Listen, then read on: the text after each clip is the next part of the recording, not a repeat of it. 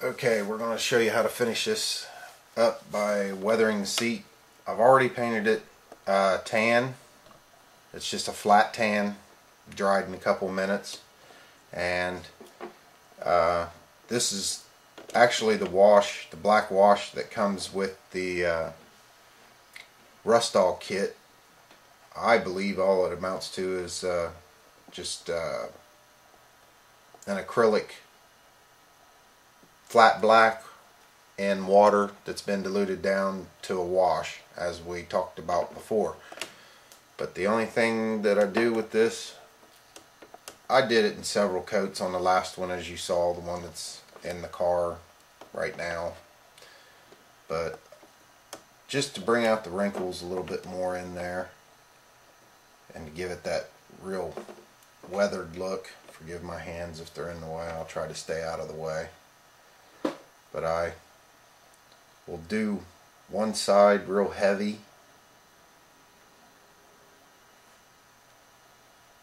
And let it really sit down in the wrinkles and make them stand out. That'll take a couple of minutes to dry. I mean do the whole thing but to get it in in there to where it really looks good best way to do it is to set it down on one side like this pull it out over everything and let the puddles stand and, and, and dry so that it uh, gives it that weathered look. You can see how the the black really stays in the wrinkles themselves. Do that. Try to smear it around, keep it down in the uh, parts that you want to stand out. And just let it sit like that and dry and then if you think that looks good and you want to do the lower part of the seat, flip it over, stand it up, do the lower part. And uh, that's pretty much how to take care of that one. There's really nothing elaborate, but the uh, result speaks for itself, as you saw on the last one. Um, so we'll move on to a technique I talked vaguely about before, I believe. Um, for the tarp, called dry brushing.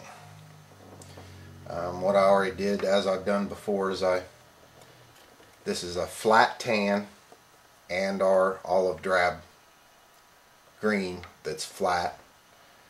And I'm trying to get something that'll look like a, a real highlighted color that will be faded on top of these wrinkles to make them stand out like the sun's really hit the top of the wrinkle more than anything else. So I'm just going to mix it a little bit at a time until I get the shade that I think it needs. And this technique is uh, a little touchy. Um, might take some time to perfect. You might want to start on something that's you don't value too much at first maybe.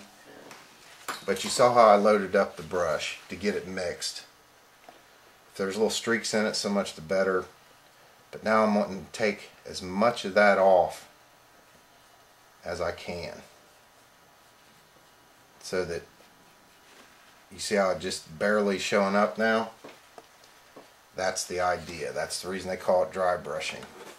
Now when you come across, try to come across the wrinkle. If the wrinkle's laying this way, you want to bring the brush across it and just barely, barely, barely touch it. Just, just to highlight them. To give it that, that soft edge. That's the reason it's called dry brushing. You're not really applying nothing more than a just a whisper of paint right at the top of it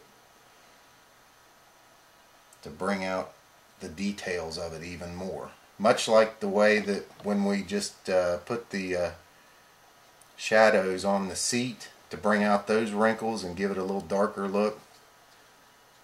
That's what we're doing here, only the reverse. We're Instead of bringing out the crevices, we're actually highlighting the top part of it again just bring it.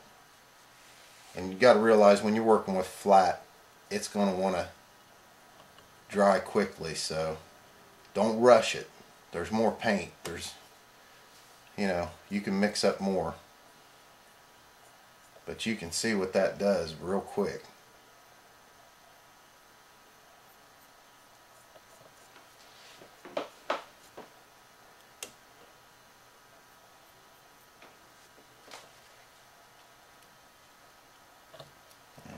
mix a little bit more up.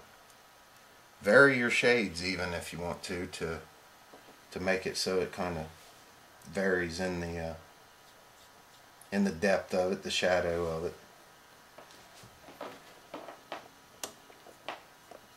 You can see that actually brought out the details a lot more than just just what it normally would have.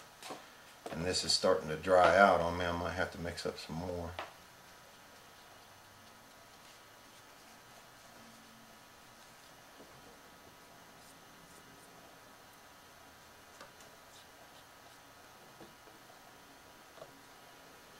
Like I said, you're just going for the highlights.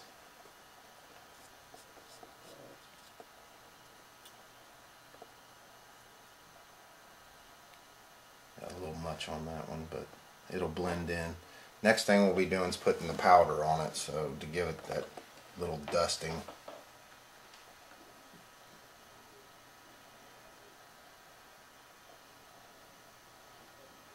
But you can see how that really accents everything on the car and makes it all stand out even more. So we'll let this one dry a little bit. I'll keep on going, let it dry, show you the results from the seat, and uh, then we'll move on to dusting it up and I'll show you the finished product. I'll go ahead and make the diorama base and uh, that'll be it. So we might have one or two videos more on this probably just one. And we're done. So check back